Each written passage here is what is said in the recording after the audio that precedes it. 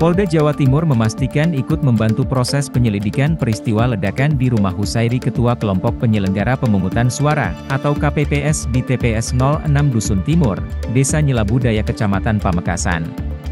Kapolda Jatim, Irjen Pol Imam Sugianto menyebut, bahan peledak sudah dilakukan identifikasi bahan dasarnya dan merupakan jenis bom ikan atau bondet. Hingga saat ini motif pelaku sedang didalami dan ditargetkan dalam waktu yang tidak lama lagi akan bisa diungkap. Namun Kapolda Jatim meminta agar masyarakat tak berandai-andai terkait motif yang dilakukan.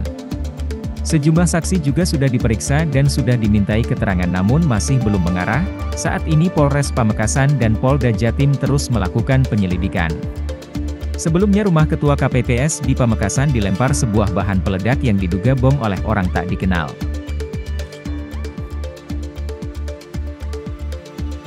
Sudah di Pamekasan ya sudah kita identifikasi.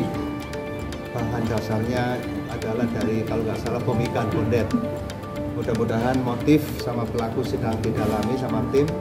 Dalam waktu yang tidak terlalu lama mudah-mudahan bisa kita ungkap